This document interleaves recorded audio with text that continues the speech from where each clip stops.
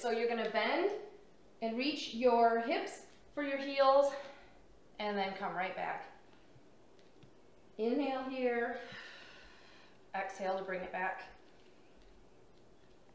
You get a little stretch in the arms and the chest. The knees go toward the floor, but they don't touch.